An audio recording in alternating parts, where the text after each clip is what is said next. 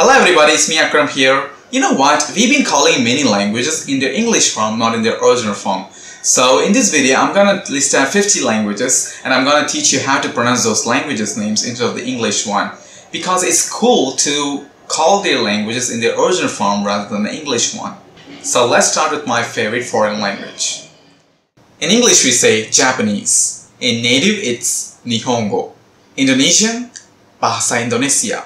Korean, Hungarian, Russian, Ruski, German, Deutsch, French, Francais, Spanish, Espanol, Burmese, Myanmar, Italian, Italiano, Portuguese, Portuguese, Thai, Thai, Mandarin Chinese, Zhongwen, Arabic, Arabiya, Hindi, Hindi, Bengali, Bangla, Urdu, Urdu, Turkish, Türkçe, Persian, Farsi, Greek, Ellinica, Hebrew, Ivrit, Vietnamese, Tiangyue, Swahili, Kiswahili, Zulu, Isizulu, Dutch, Nederlands, Swedish, Svenska, Danish, Dansk, Norwegian,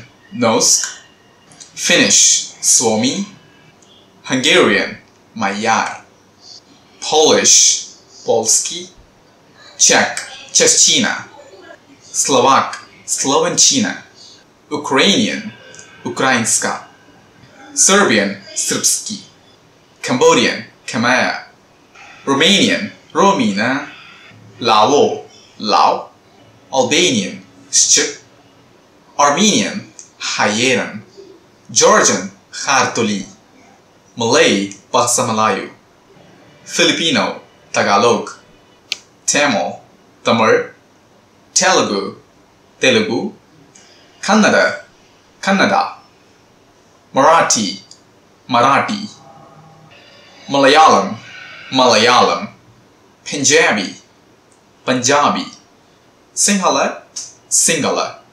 English is English actually. Well, maybe I'll say in other languages. In Hindi we say Angrezi. In Chinese we say Ingyu. In Japanese we say Eigo. In French we say Anglais. In Danish we say Engelsk. In Tamil we say Angilam. In Indonesian we say Bahasa Inggris.